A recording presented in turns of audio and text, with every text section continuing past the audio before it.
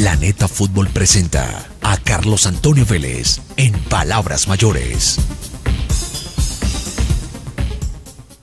En los partidos de Copa de anoche se afectaron dos, un jugador uruguayo y un técnico brasileño, y la noticia de última hora es esta.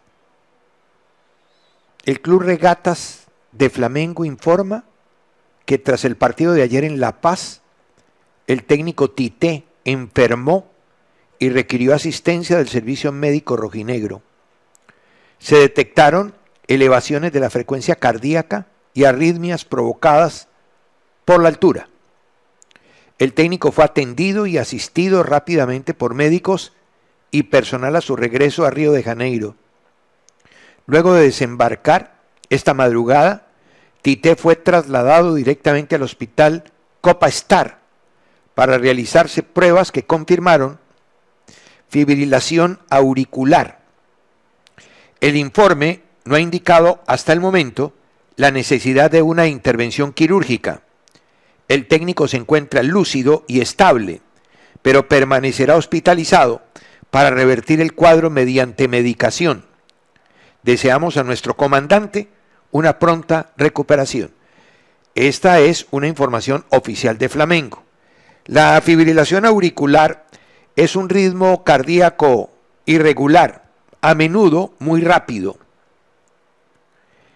Eh, es una arritmia. Él es una persona mayor, pero pues uno supone que físicamente está muy bien. Lo que pasa es que la altura traiciona. Y el otro caso es el de el jugador uruguayo izquierdo. Se queda internado en Sao Paulo. Sufrió una arritmia, que es un episodio cardíaco semejante a esto de Tite, pero no es un infarto. Él entró al minuto 46 del segundo tiempo y cuando estaba próximo a terminar el partido, por ahí a minuto 90, él se desvanece al lado de un compañero, se ve como que se le viene encima, algo seguramente le dijo, y amortigua la caída el compañero de izquierdo, que es un central de Nacional, compañero de Erazo, que jugó anoche además, un pedazo de partido. Dos incidentes de salud anoche en torneo en torneo internacional, en donde también hubo una magnífica actuación de, de Roldán. A Roldán le da hoy el diario deportivo Le siete puntos, que esa es una muy buena calificación para, para un árbitro. Estaba mirando aquí y dice, Roldán, firme y acertado en la decisión de expulsar a Advíncula a los nueve segundos en la polémica del tiro de esquina previo al segundo gol del Cruzeiro, ni él ni en línea tienen manera de ver esa situación. Vi el partido y la verdad Roldán, como un varón, se comportó excelentemente bien. Todo lo manejó como suele hacerlo. Había tenido un bache por ahí, pero la expulsión clarísima y eso ratifica que no hay tiempo. Es que no falta quien dice, oiga, pero comenzando el partido, o que no faltaba nada. No, no, no. Es que la ley se aplica desde el minuto cero hasta que termine el partido. Y no hay tiempo para amarillas o tiempo especial o particular para una amarilla, para una expulsión, para un gol, para una anulación, para una intervención de VAR. No, desde el minuto cero hasta que termine el partido, juega todo. Es una obviedad, pero hay que hacer énfasis en ella porque, pues no crea, las obviedades también son discutidas por mucha gente. Estuvo auxiliado por León y Gallego. El VAR fue chileno. El VAR Lara y Cisternas. Lara, el VAR y el AVAR Cisternas de Chile. Están haciendo equipos arbitrales combinados a veces.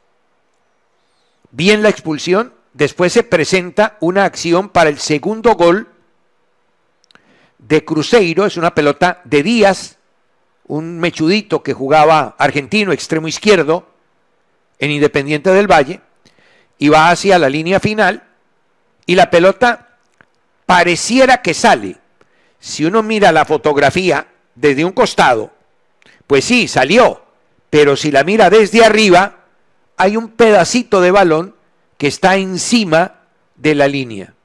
Para mí no salió, porque para salir tiene que transponer totalmente la línea respectiva y no la pasó totalmente.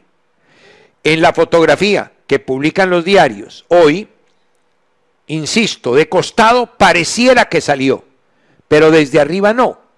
Y era muy difícil, fue una jugada muy rápida, era muy difícil de detectar por parte del auxiliar, que creo que era gallego, y el mismo Roldán. Y el VAR, pues creo que hizo lo mismo, ¿no? Mirar la toma desde arriba, en la que se ve que hay un pedacito de pelota, pedacito de pelota, que está todavía por encima, en una jugada muy rápida, por encima de la línea eh, final.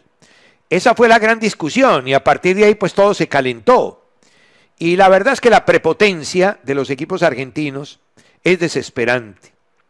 Y hay jugadores como, como Rojo, por ejemplo, eh, Medel al final, eh, el técnico, que cada vez que discuten algo con el árbitro es de una manera virulenta, eh, con gestos altisonantes y seguramente términos fuera de juego.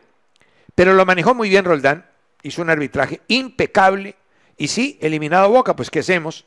Pobrecito. Al final, el, arquero de, de, Boca, que suele salvarlos, esta vez se tiró para el otro lado en los lanzamientos desde el punto penal, le echa la culpa a Roldán de lo que pasó y realmente no tiene nada que ver. El pisotón de Advíncula era expulsión y quedarse con 10 a los 9, 10, 20 segundos antes del primer minuto, pues no deja de ser un trauma y decididamente complejo. Muy bien, Roldana. Ojalá mantenga esa línea porque en la Copa América sí le fue muy mal. Ese partido de Chile con Canadá fue un desastre y por eso lo borraron. Ahora retoma, le dan un partido duro como este y lo saca y lo saca bien. No, lo saca no, está mal dicho. Saca partidos tenemos por cantidades. No, lo dirigió bien, lo arbitró de manera correcta. Lo de Asprilla, venga les cuento, hay actualización en torno a eso. Oficialmente, oficialmente, Girona todavía no ha anunciado al jugador. Me dijeron ayer que muy seguramente Gino Pozo no va a vender la totalidad de los derechos deportivos. Hoy Yasser asoma en los diarios de Barcelona porque Girona está ahí. Girona es un equipo catalán. Asoma como la gran contratación. Y tiene todas las condiciones para hacerlo. Y cuenta el mundo deportivo, por ejemplo, que en 94 años de vida, Girona nunca había gastado tanta plata en un jugador. Aquí hablan de 23.5. Yo no creo. Creo que esto se acerca a los 30 millones de euros. Y ahora viene la parte que le corresponde a Envigado. Ya les cuento. Se desconoce la cantidad exacta, pero el Watford pedía en un inicio 23.5. Entre Mundo Deportivo y Sport, ambos hablan de una cifra que oscila entre 25 y 30, que era lo mismo que pretendía pagar Rems por él. Dice que en los 94 años de vida nunca habían hecho un gasto tan grande o una inversión tan grande.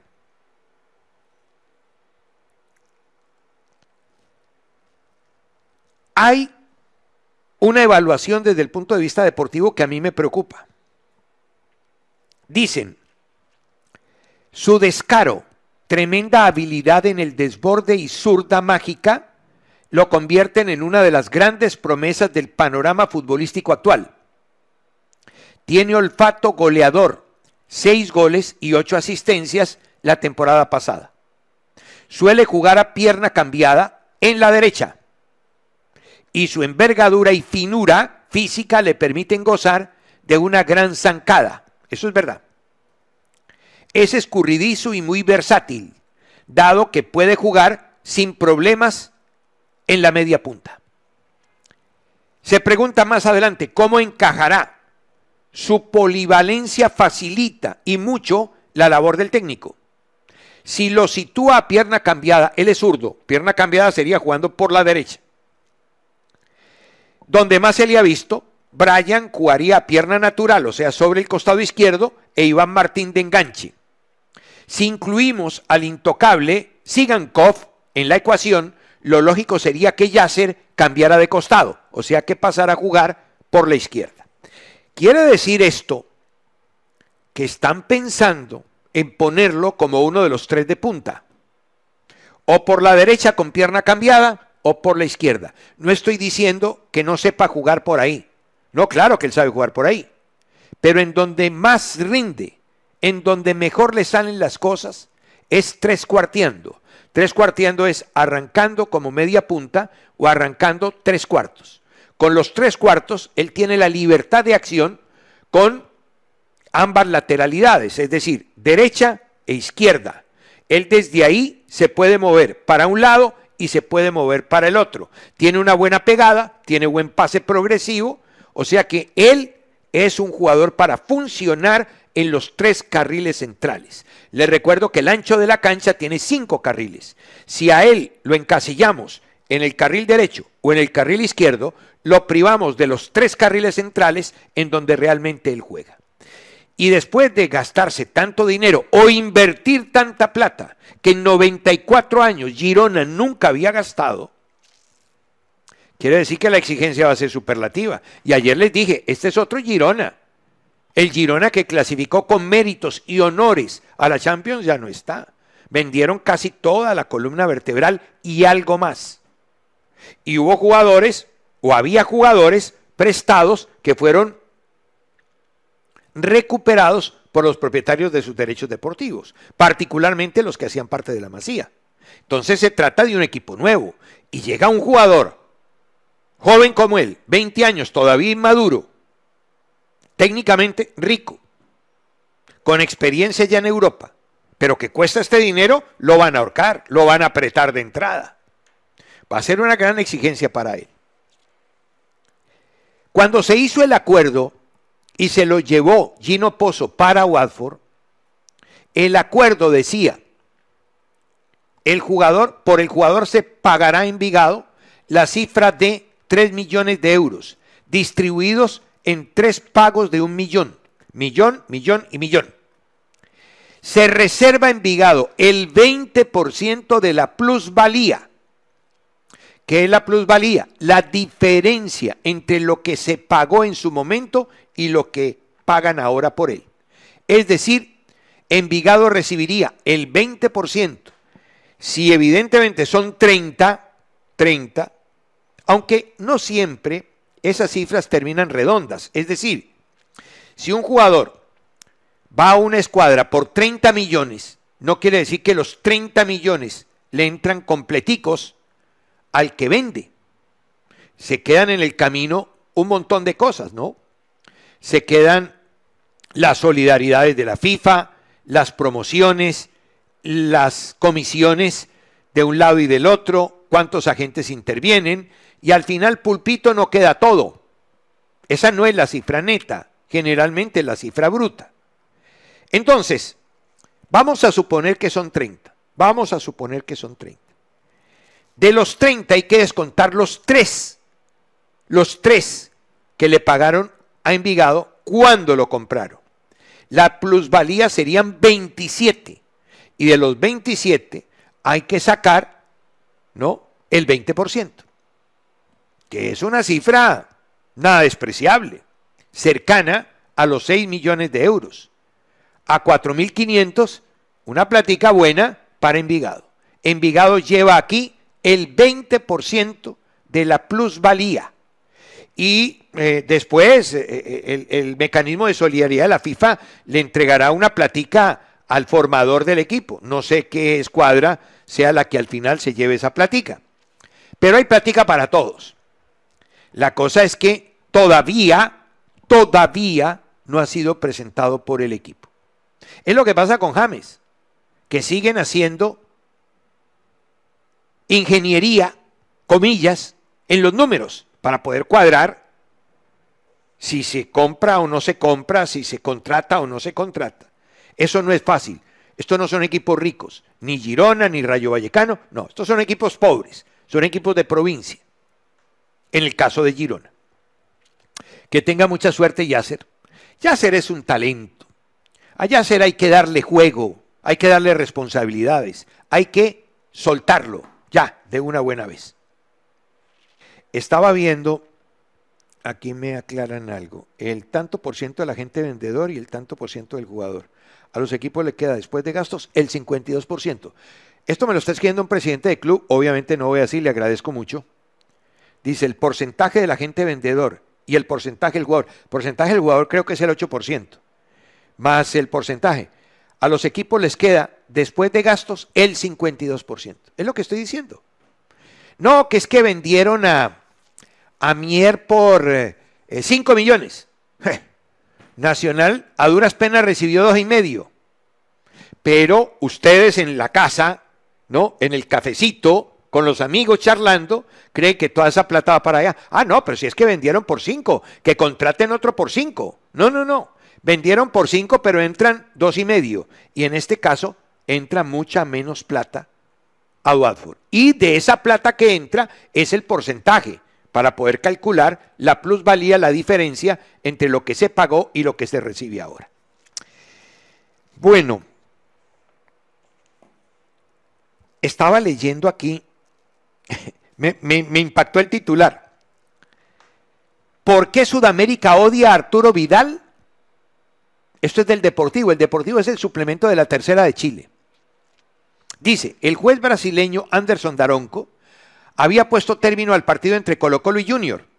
Ni bien se consumó la clasificación ALBA a los cuartos de final de la Copa Libertadores, los jugadores colombianos se abalanzaron sobre el rey Arturo, quien había dado sobradas muestras de optimismo en la llave del certamen continental.